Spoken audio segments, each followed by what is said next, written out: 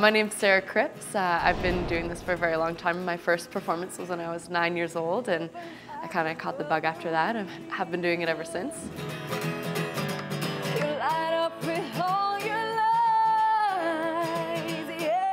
Growing up, I've always wanted to be a singer. I think ever since I was two years old, I used to sit in front of the TV and watch the movie Grease and sing, all day long. And, and then uh, I picked up guitar when I was about seven, and, and my parents didn't see me for about three or four years. I went up in my room and started writing songs and learning guitar and doing all that stuff.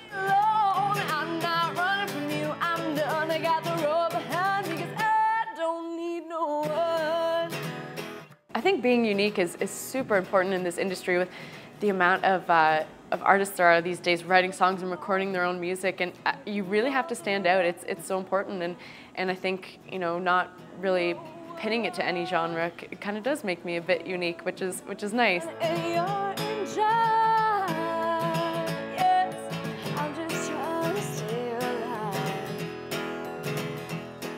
So it's so new. The new album has just um, came out on iTunes and then we hit the road so it's so fresh and so new for me but it's, it is really exciting to kind of get out there and push it and, and the feedback that's starting to come back is, is really amazing and it's nice because we worked so so hard on it and, and we spent so much time and so much effort and we let everything come together very naturally so that that's kind of the reason it did it did take that time but but it made for a, a, a better kind of you know, a CD that I can be really proud of and a CD that I love. And one thing that we really strive to do is make a CD that we would like to listen to.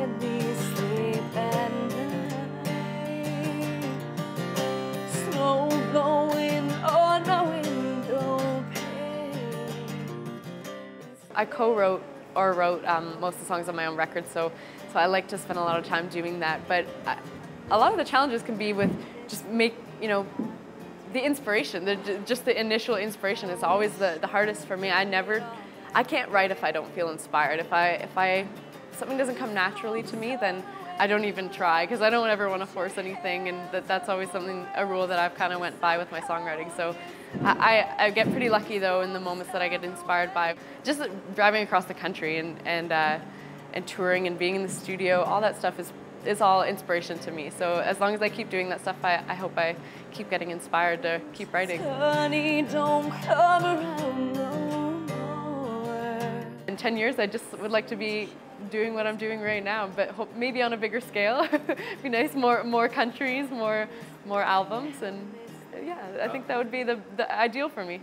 Black velvet in that little boy's smile. Black velvet in that soul southern style.